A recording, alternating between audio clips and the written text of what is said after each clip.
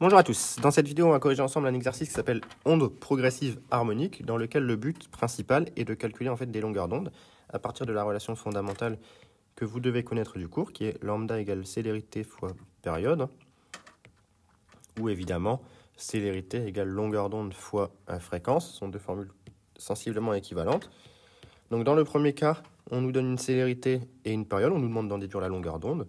On a directement lambda égale c fois t égale 50 mètres par seconde fois 20 millisecondes. Évidemment, on met ça en, secondes.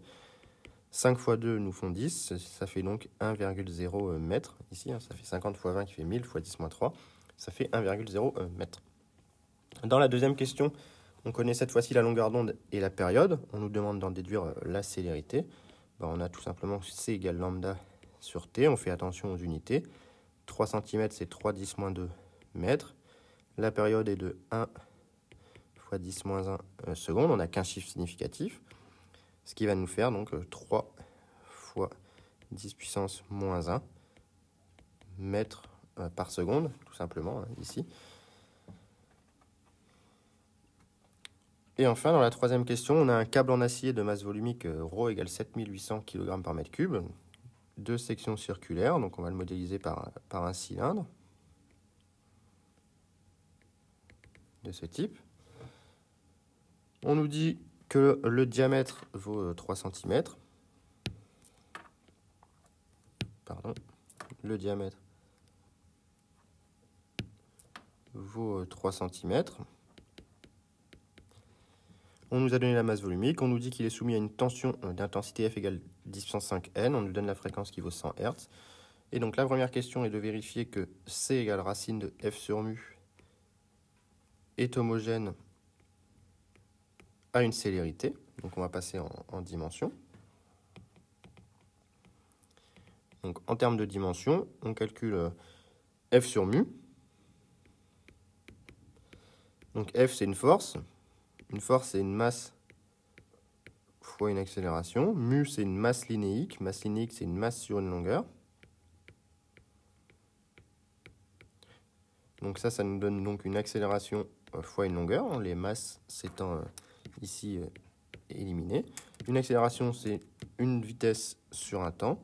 Ça, ça va nous faire donc L t-2 fois L, ce qui fait donc L2 t-2. Donc, racine de f sur mu, ça donne lt-1, ce qui est bien la dimension d'une vitesse. Donc, pas de problème à ce niveau-là. On a bien une formule qui est homogène. Et ensuite, on nous demande de calculer la longueur d'onde. On connaît la, fréquence. Hein. on a C égale lambda F. Donc, lambda égale C sur F. F est connu, c'est 100 Hz. Il reste à calculer la célérité. Et pour calculer la célérité, on a besoin de mu. Et donc, mu, c'est égal à la masse divisée par la longueur de câble, que l'on ne connaît pas.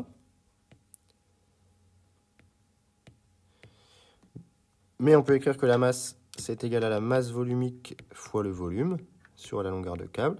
Et le volume d'un cylindre, c'est la section qui vaut donc pi r carré fois la longueur, divisé par la longueur.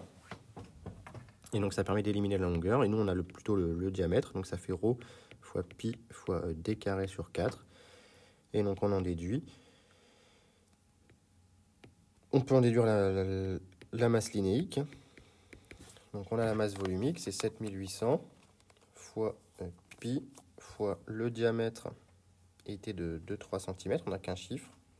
Donc nous c'est le diamètre, donc 3 10 moins 2 évidemment on le met en mètres, carré divisé par 4, ce qui fait 6 euh, kg par mètre si on garde un seul chiffre significatif. Puis on peut en déduire euh, la célérité. La célérité est égale à la racine de f sur mu. C'est donc égal, ici, si je fais l'application numérique, racine de 10, puissance 5 divisé par euh, la masse linéique qu'on a trouvée, ce qui nous fait 135 mètres par seconde. Donc encore une fois, avec un chiffre significatif, ça n'a pas trop, euh, trop d'intérêt, mais ça fait 1 fois 10 puissance 2 mètres par seconde avec un chiffre significatif. Et enfin, on peut en déduire la longueur d'onde. Donc évidemment, moi, je garde à chaque fois euh, tous les chiffres significatifs hein, euh, quand je propage mes calculs, sinon je peux vite avoir des, soucis. Et donc c'est cette célérité divisée par la fréquence, bah, qui va les 100 tout simplement. Hein. donc ça fait 1 mètre ici, avec un chiffre significatif.